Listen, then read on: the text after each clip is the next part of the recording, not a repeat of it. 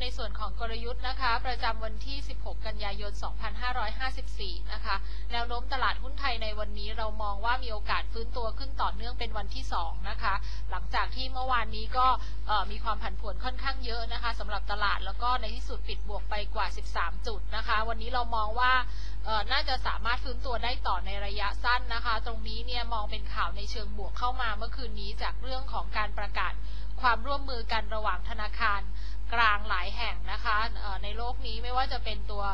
เฟดนะคะของสหรัฐอเมริกานะคะตัว ECB ของทางด้านสหภาพยุโรปนะคะแล้วก็ BOJ ของญี่ปุ่นนะคะรวมไปถึง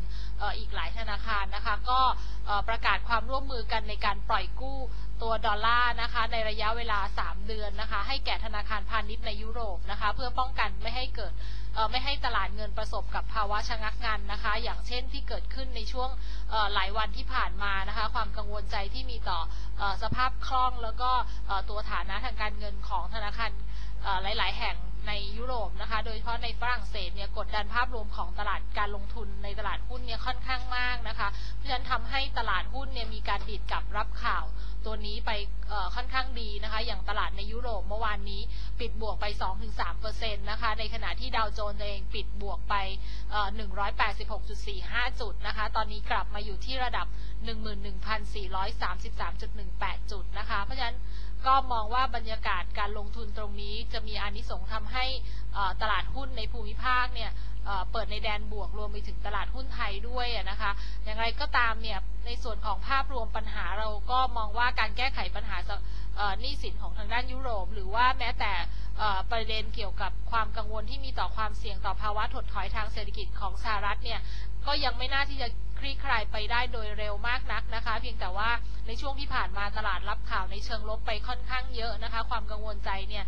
มีเข้ามาในตลาดอย่างท่วมท้น แล้วก็ปรับตัวทำให้นักลงทุนมีการปรับตัวลด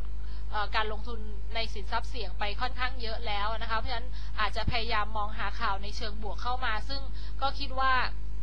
ในระยะสั้นก็คงจะมีเรื่องของมาตรการต่างๆ ที่จะมีการประกาศออกมาจากธนาคารกลางของประเทศต่างๆ รวมไปถึงรัฐบาลของประเทศต่างๆนะคะที่มีความพยายามในการเข้ามาแก้ไขปัญหารวมไปถึงการแก้ไขความวิตกกังวลของตลาดการเงินด้วยนะคะ เพราะฉะนั้นความหวังในเชิงบวกเหล่านี้เนี่ยจะกระตุ้นให้มีการฟื้นตัวของตลาดได้เป็นระยะตลอดทางนะคะ แต่ว่าอย่างไรก็ตามเราก็ยังคงภาพรวมมองว่ากรอบ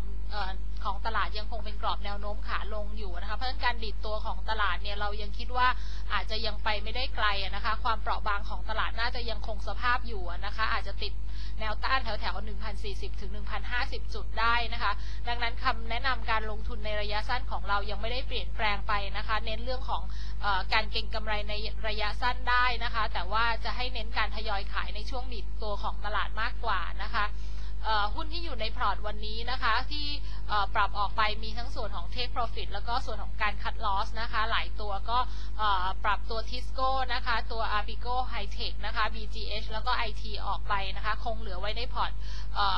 แค่หนึ่งตัวก็คือตัว PTCH นะคะ ในขณะ หุ้นที่ปรับเข้ามาใหม่นะคะ ก็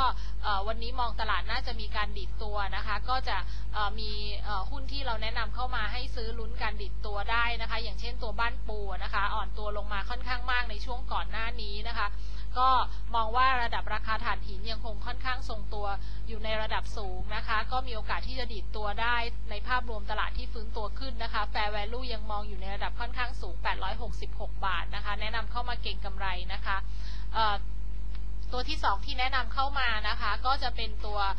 K-Bank นะคะ ตัวนี้เรามองแนวโน้มการเติบโตของสินเชื่อยังคงมีการเติบโตได้ค่อนข้างดีนะคะราคาหุ้นในกลุ่มแบงค์เนี่ยมีการฟื้นตัวขึ้นได้ค่อนข้างเด่นนะคะ ยังยังเรายังคงโอเวอร์เวทกลุ่มนี้อยู่นะคะ มอง Fair Value อยู่ที่ 176.6 นะคะ K-Bank เป็นหนึ่งใน top pick ของเราสำหรับกลุ่มแบงค์นะคะ ตัวที่ 3 ที่แนะนำเข้ามานะคะ ก็คือตัว พฤกษานะคะ ตัวนี้อยู่ในกลุ่มบ้านนะคะเรามอง Fair Value ปี 55 อยู่ที่ 21 บาท 40 นะคะ ตัวนี้นอกจากจะลุ้นการดีดตัวตามภาพรวมของตลาดแล้วเนี่ย ก็ยังมีเรื่องที่รออยู่ข้างหน้าก็คือ เรื่องเกี่ยวกับมาตรการบ้านหลังแรกที่จะ อาจจะมีการนำเข้าสู่การพิจารณาของคอรมอนะคะ อาจจะเป็นในสัปดาห์หน้านะคะ ก็คงคงมีการลุ้นเรื่องของการประกาศตัวมาตรการตัวพฤกษาเนี่ยราคาก็ก็ถือว่าอ่อนตัวลงมาตามภาพรวมของตลาดค่อนข้างเยอะเหมือนกันนะคะ การรับประโยชน์จากตัวมาตรการบ้านหลังแรกเนี่ยในเรื่องของพอร์ตบ้านที่ที่อยู่ในระดับราคาที่ค่อนข้างต่ำนะคะต่ำกว่า 3 ล้านลงมาเนี่ยน่าจะเป็นตัวที่ได้อานิสงส์ค่อนข้างเต็มๆนะคะ ก็แนะนำเข้ามาซื้อรอลุ้นเรื่องมาตรการนะคะ ก็แนะนำเข้ามาเก่งกำไรนะคะ ตัวสุดท้ายที่แนะนำเข้ามาในวันนี้ก็คือตัว d t แทนะคะ ตัวนี้เนี่ยราคา Fair Value ยังคงอยู่ ระหว่างการทบทวนการปรับราคาอยู่นะคะของในเชิงพื้นฐานนะคะ แต่เราแนะนำเข้ามาเก็งกำไรได้ในวันนี้รับข่าวเกี่ยวกับความคืบหน้าของ 3G ในเชิงพาณิชย์นะคะ หลังจากที่รัฐมนตรีว่าการ ICT เนี่ยมีการออกมาเปิดเผยเรื่องเกี่ยวกับที่สำนักอายการสูงสุดได้ได้ส่งจดหมายถึงทางกสทไปแล้ว ระบุว่า d t แทสามารถที่จะเดินหน้าทำ 3G ในเชิงพาณิชย์ได้นะคะ ถึงแม้ว่าตอนนี้ทางกสทเองเนี่ยยังมีข้อสงสัยในบางางประเด็น แล้วก็เตรียมที่จะส่งจดหมายกลับไปสอบถามอายการอีกรอบหนึ่งนะคะ แต่ว่าคาดว่าข่าวดังกล่าวเนี่ยน่าจะเป็นในเชิงบวกต่อดีแท็ที่ออกมา